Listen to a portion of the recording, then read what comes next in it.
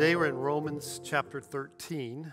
And, you know, growing up, maybe you heard this never talk about in public religion and politics. Well, Romans chapter 13 is all about religion and politics. So we're going to talk about it. I grew up in the 60s and 70s, 1969 when we landed on the moon. I was living in a little surf shop in Delaware, far from a Christian, didn't know anything really about the Bible. Grew up in the Vietnam era. My older brother and I had this pack, you know, if we get drafted, we're going to Australia, dude. we didn't get drafted, but we've been to Australia. And you know, it's, it's interesting times right now. Being a believer and being called to this dual relationship with government and with our Lord and Savior. I, just want to show to start off with a little clip from uh, our nation, the background, what's happening now, back then. It, it kind of deals with social unrest. So just take a look at it. It doesn't have a big message, it's just an image for you.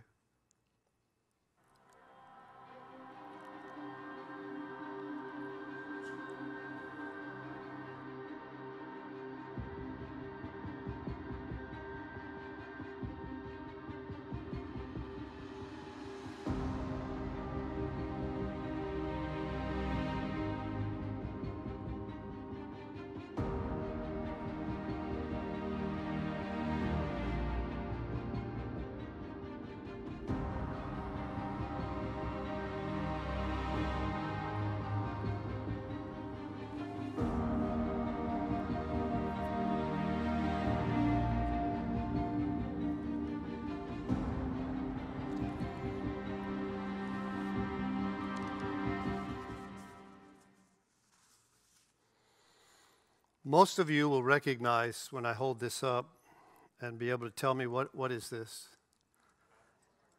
What? Remember when you used to be able to travel and use these things, passports, and go out of the country? Well, this is my passport. It's taken me to a lot of places. I open it up and it defines the fact that I'm, a, I'm an American citizen. It gives my full name, John Stephen Spencer, the date I was born, and this passport expires in April of 2029. So, as long as I have this passport and it's legal to travel, I can go just about anywhere in the world that it'll take me. And I'm a citizen of the United States of America. But I'm also a citizen of heaven. And you and I have this dual citizenship if you're a follower of Jesus Christ. We're working our way through the book of Romans. And we're stepping today into chapter 13. But just quickly to, to review, which gives us a great background, I think. In chapter 12, it starts off by saying, Give yourself to the Lord, all of you, and he'll make you holy and acceptable and don't be conformed to this world, but be transformed by the renewing of your mind so you'll know God's will. So it starts off by saying, This is how you relate to God based on all He's done for you. You give yourself fully to Him. And then it talks about how you relate to the church in verses 3 through 8. We're in chapter 12 everybody has different gifts. Some is teaching, some is serving, some is, you know, gifts of helps. And it, it says this is how we relate to God, this is how we relate to the church. And then it goes on to say how we relate to one another in and outside of the church. Chapter 12 says things like this Be kind, affectionate to one another, with brotherly love and honor, giving preference to one another rejoicing and being patient in tribulation, being steadfast. So, so chapter 12 begins talking about okay, I'm a believer. Commit myself to the Lord based on all He's done for me. It's my reasonable service. Be a part of the body, use my gifts, relate to the other people in the church. Don't be a isolated individual. And then it talks about to outside of the church, be kind, be affectionate, be a good testimony. And then in chapter 13, where we are today, it deals with how do I relate to authority? How do I relate to the government? How my faith applies to God, the church, to others, and to the government rules, law, those different ordinances that are passed by our leaders. Jesus himself made it very clear that we have a responsibility to human government. He was asked by his opposition, you know this story. He said, Is it lawful to pay taxes or tribute, if you will, to Caesar or not? And they came to, to trap Jesus with that question. And Jesus, if you know the story, he, he asked for a coin. And he held one up because everybody handled these every day. This is a coin actually that was minted in Israel. It's an interesting coin. I don't know if you've heard of it. It's called the Cyrus coin. And on the front, there's a picture of Donald Trump and King Cyrus, who released the Jews when they were in exile in Babylon and let them go back and build their temple. Well, the Jews are believing that perhaps Trump is a modern day King Cyrus because on the back of this coin, they have a picture of the temple that they believe that Trump is going to be able to somehow create a peace treaty that allow the Jews in our lifetime to build their temple back on the Temple Mount. So Jesus held up a coin, someone gave it to him, and he said, who, who, whose image is on this? The, the, the, the passage is in Luke chapter 20, verse 25. And he said to them, Render therefore to Caesar, as he held up the coin with his image on it, the things that are Caesar's, and to God the things that are God's. Now listen, tune in.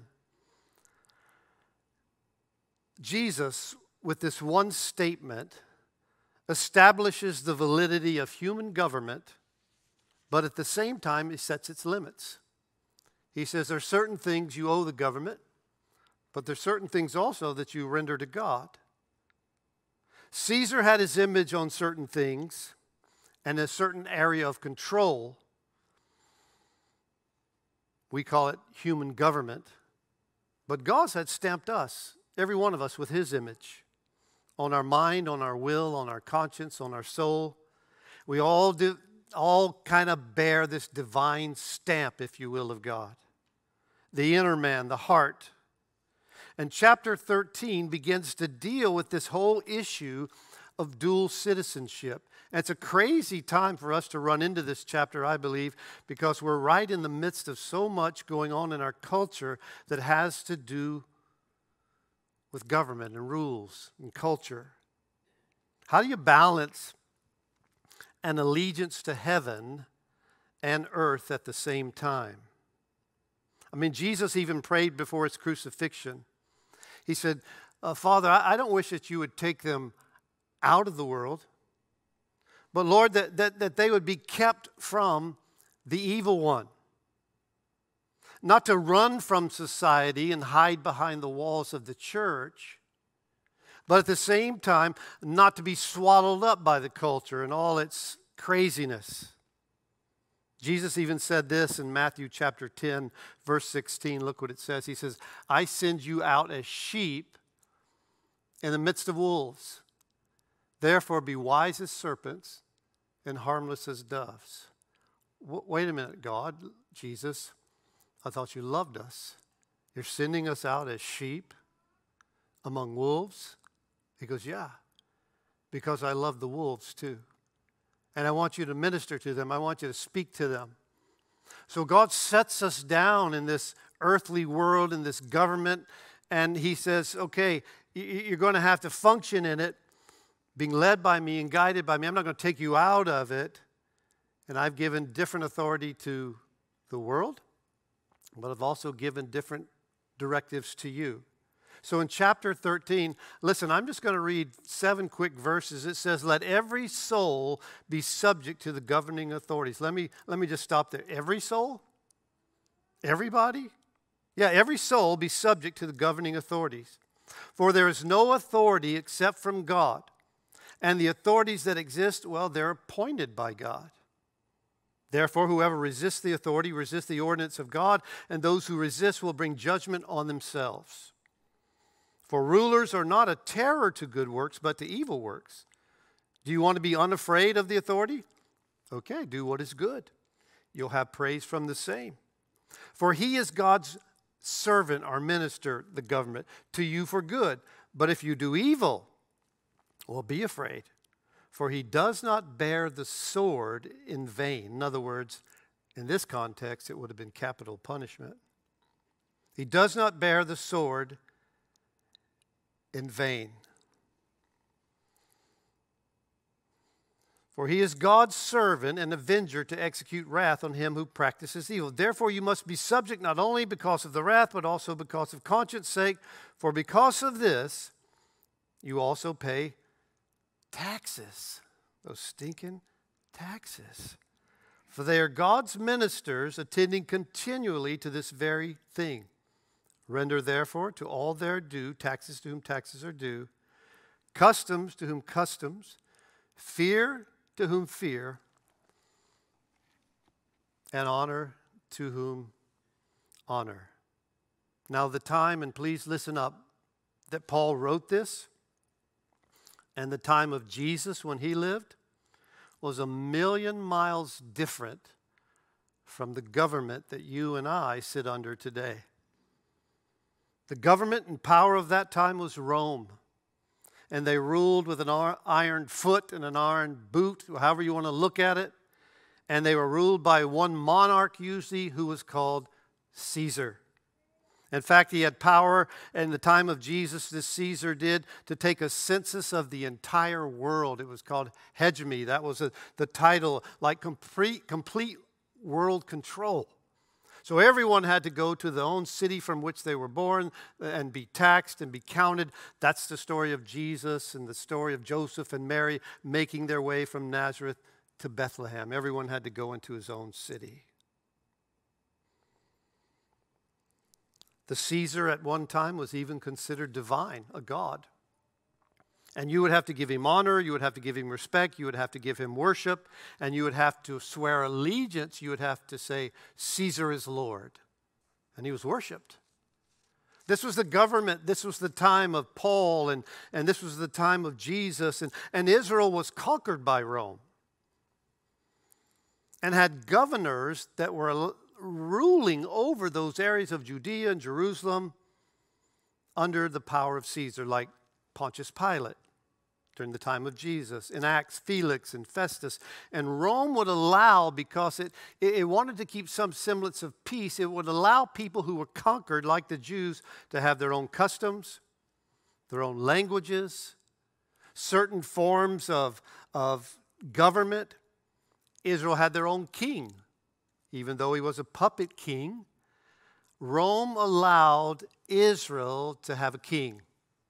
You know the story when Jesus was born and the, the Magi came from the east and they saw the star and they went to King Herod and say, Hey, we've seen the star of the king who was born. Where can we find him? And he called in all his wise people and they talked about, Oh, he's going to be born in Bethlehem.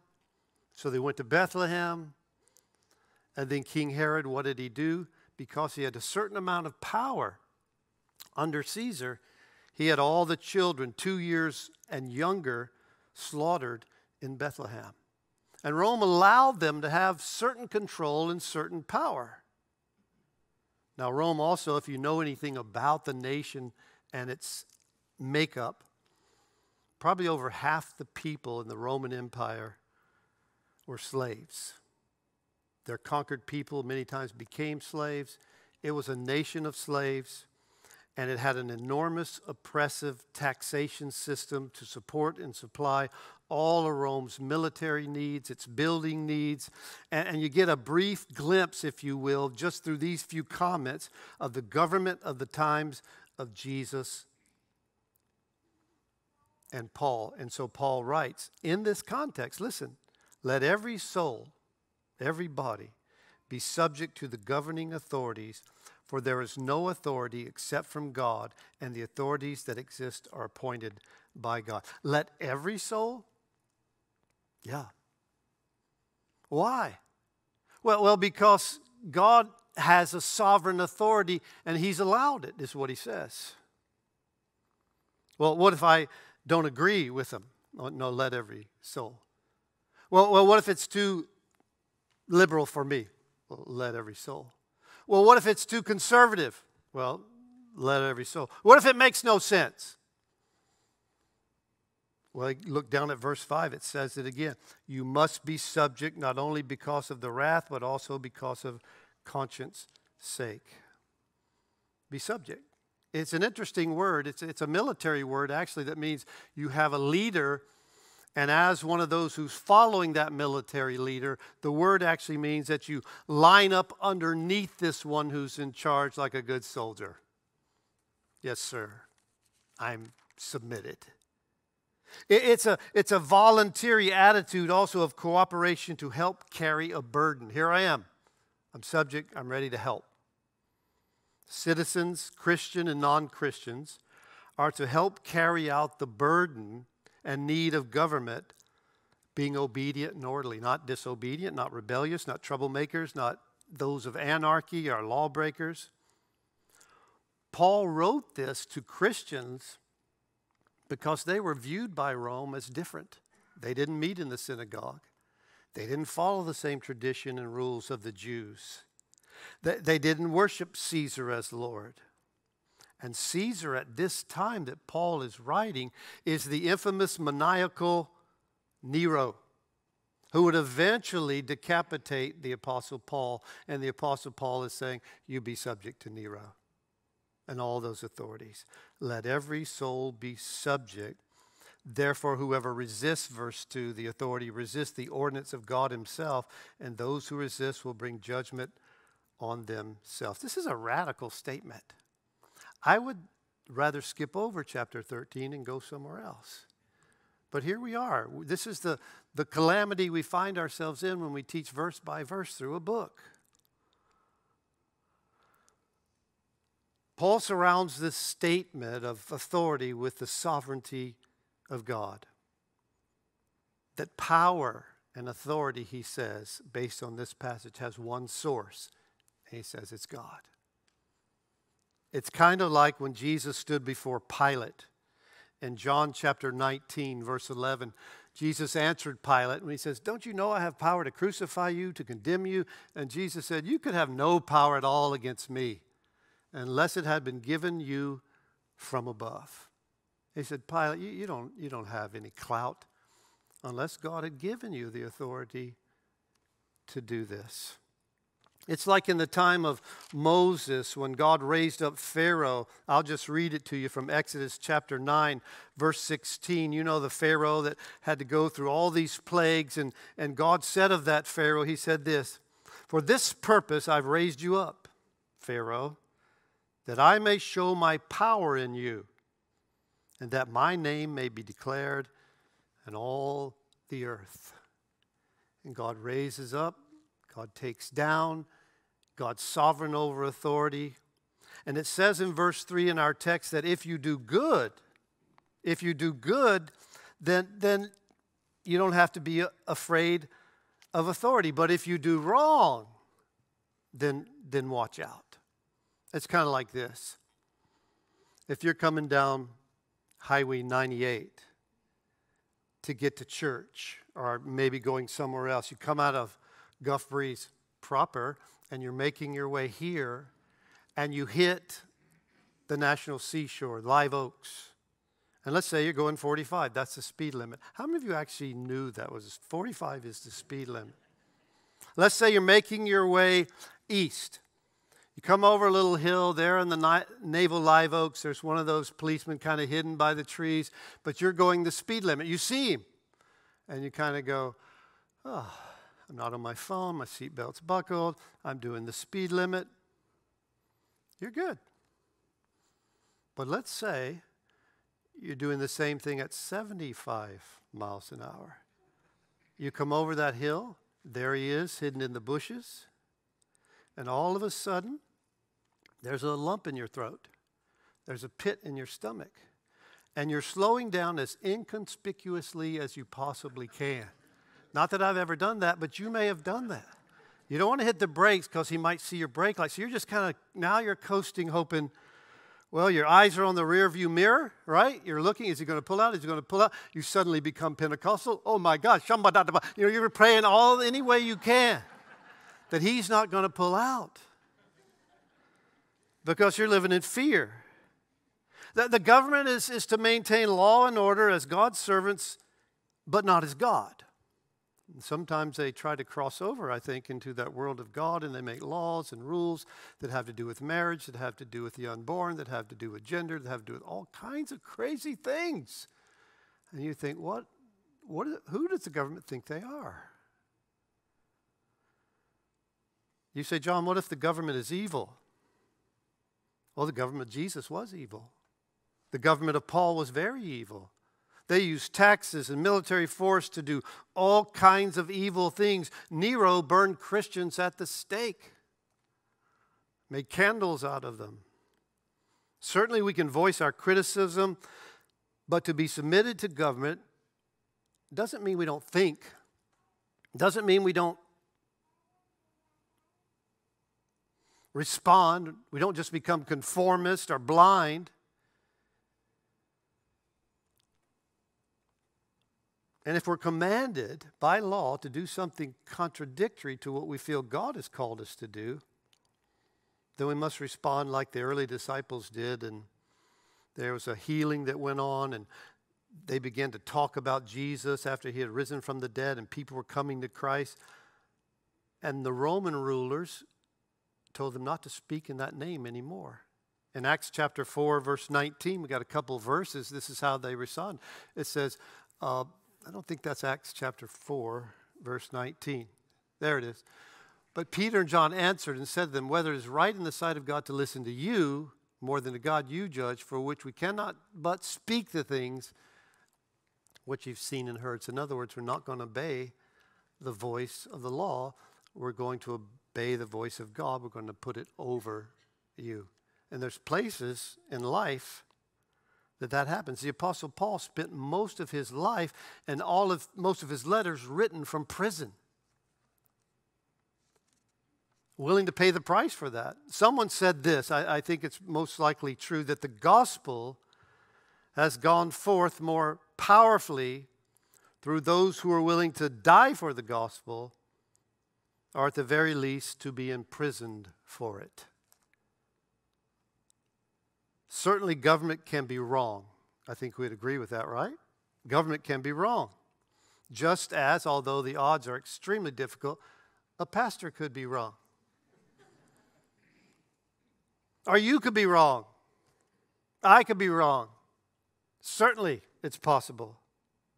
The one in authority can be unworthy of honor and can be wrong, but the institution that God has established who's the ultimate power of, well, demands a certain amount of honor since God established it. And this is what Paul is saying. And listen as he digs into this. He says in verse 5 Therefore, you must be subject, not only because of wrath, thrown in jail, but also for conscience sake, God giving you a conscience of, you know the difference between right and wrong. For because of this, you also pay taxes, for they are God's ministers attending continually to this very thing. Rendered therefore, verse 7, to all their due, taxes to whom taxes are due, customs whom customs, fear to whom fear, and honor to whom honor. Most of us pay taxes out of fear. I don't want to be arrested for not paying my taxes. I don't want an audit for not paying my taxes. And there's no fear if you do what's right. We all have the right to protest or come against injustice and correct abuse, but not illegally, not according to Paul. We're all required to pay taxes. I don't know about you. I hate taxes. I remember when I was younger and we had three kids, we had enough deductions and we didn't make that much money. I never had to pay any taxes because I didn't make enough money to pay taxes, and I got money back. It was awesome. The kids moved out. I made a little more money. And now I have to write a check to the IRS. And sometimes it's a pretty good amount of money. I can remember, and I've repented of this, but I would write it not to the Internal Revenue Service, I would write to the Infernal Revenue Service. And then as I repented and got better, I wrote it, and this sounded more apropos, to the Eternal Revenue Service. Because they're never going away. And you know what? I found out, even no matter what I put on the envelope, they always cashed my check. in chapter 13, verse 7, he, he summarizes this whole thing about government and authority and, and, and two different kingdoms that we live in. Render therefore to all their due taxes, to whom taxes are due, custom to whom customs, fear to whom fear, and honor to who you are to honor. It kind of summarizes up those first six verses. In other words, he says, Give everyone what you owe. Be honest. You owe taxes, pay taxes. You owe revenue, pay revenue. You owe respect, pay respect. You owe honor, show honor. We, we may deplore the, per, the politics of a particular person or office, we may be opposed to their conduct, but we can honor the office. God has established it. The person is a person like you and I. They have faults and weaknesses. The position exists under the sovereignty of God. This is what Paul is saying. Government is divinely appointed, it's to serve the good of the community. It's to help us get along. I mean, I mean, can you imagine if, if, if there were no rules and no laws? Let's just say in the driving world. Can you imagine? Let's say you're driving and there's no rules. I can drive anywhere I want. If I want to go around and pass and there's no one coming at me in the other lane, I'm just going to go for it. Looks clear, looks good. I know it's the wrong way. I'm going for it. Or, or I don't care how old I am or how young I am. I feel like I can drive. I'm going to drive. I'm 10, but I can drive. And I'm like this, going down the highway. I mean, suppose. I mean, ju- just imagine that, that you can go any speed you want to go. Do whatever you want to do. It'd be total chaos. And so there's rules that have been put in place. There's, there's different things that, that, that we, you know, have there for our safety. And God says, hey, obey them. In 1 Peter chapter 2, Peter put it this way, and, and he, was, he was kind of a rebel. He's the one that pulled out the sword in the garden, cut off an authority's ear. He said, Submit yourselves to every ordinance of man for the Lord's sake, for the Lord's sake, whether to the king as supreme or to the governors as to those who are sent by him, for the punishment of evildoers and for the praise of those who do good. He, goes on, I think, in that passage, for this is the will of God, that by doing good you may put to silence the ignorance of foolish men as free, yet not using liberty as a cloak for vice, but as bondservants of God. Honor all people, love the brotherhood, fear God, and honor the king. With, with the Lord's strength, we kind of walk out our life in these two citizenships as it's described in God's Word. That's the only way I can do it. And then to disobey when it goes against God's will or call on my life. When the Nazis were pursuing their racist elimination of the Jews, there was a pastor at that time in that place named Martin Niemöller who continued to preach the Word of God and was thrown in prison and sentenced to be executed. And as he's awaiting, the Nazis are going to put him to death.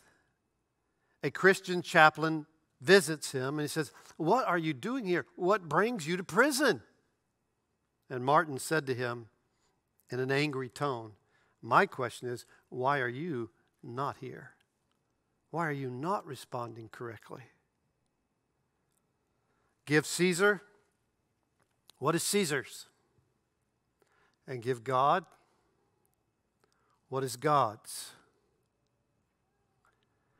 Give Caesar what is Caesar's, and then Jesus will say, But there's another image, there's another stamp, and you're required to give God what is His.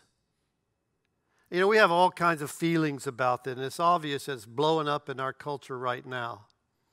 And one of the things that, that seems to be crazy in our culture is many times you have a majority who's being silenced or led around by a minority, no matter what it might be. And I wanted to read to you. This is more just out of feeling. This doesn't have anything to do with uh, politics. It, it, it, comes from a, a, broadcaster of another day. And I just want you to listen. It, it kind of expresses, I think, some of the feelings that I have at time, and maybe you have too. And we'll close with this. This person says, I don't believe in Santa Claus. But I'm not going to sue somebody for singing ho, ho, ho in December. I don't agree with Darwin, he says, but, but I didn't go out and hire a lawyer when my high school teacher taught the theory of evolution. Life, liberty, pursuit of happiness will not be endangered because someone says a 30 second prayer at a football game or in a kindergarten class. So, what's the big deal? It's not like somebody is up there reading the entire book of Acts during a prayer. They're just talking to God. They believe in Him, and they're asking Him to grant safety to the players on the field and the fans going home from the game and little children in the class. Oh, someone would argue, wait a minute, but it's a Christian prayer. Yeah, it's a Christian prayer. It's the United States of America, and every place you find a church, 200 to 1, are Christian churches. It's a Christian nation. Was founded that way. I mean, if I went to a football game in Jerusalem, I would expect to hear a Jewish prayer. If I went to a soccer game in Baghdad, I would expect to hear a Muslim prayer. If I went to a ping pong match in China, I would expect to hear someone pray to Buddha. And I wouldn't be offended. It wouldn't bother me one bit when in Rome. But what about the atheist? What about them? Nobody's asking them to be baptized. We're not passing a collection plate. Just humor us for 30 seconds. If that's asking too much, put your headphones on, go to the bathroom, visit the concession stand, call your lawyer. Unfortunately, one or two will make that call. One or two will tell thousands what they cannot do. And this is just a feeling I've got. I don't think a short prayer at a kindergarten or a nativity scene or, or a prayer at a football game is going to shake the world's foundations. Christians are tired of turning the other cheek while our courts strip us of our rights. Our parents and grandparents taught us to pray before eating, they taught us to pray before we go to sleep. Our Bible tells us to pray without ceasing. And now a handful of people and their lawyers are telling us to be quiet. God help us. And if that last sentence offends you, he says, just sue me. The silent majority has been silent too long. It's time that we let one or two who scream loud enough to be heard that the vast majority don't care what they want. It's time the majority rules. It's time we tell them, you don't have to pray. You don't have to say the Pledge of Allegiance. You don't have to believe in God. You don't have to attend church or honor Him. That's your right. And we'll honor that right. But you no longer are going to take the rights away. We want to fight back. We want to win. God bless us one and all, especially those who denounce him. God bless America despite all her faults. She's still the greatest nation of all. And God bless our servicemen who are fighting to protect our right to pray and worship. And may we step into this crazy time that we're in and may the silent majority that's heard, may God be put back as the foundation of our families and institutions, And let's keep walking out our dual citizenship, rendering unto Caesar the things that are Caesar's, and unto God the things that are God's. That's who we are. That's what we're called to do. And if that last thing I read offends you, well, sue me thank you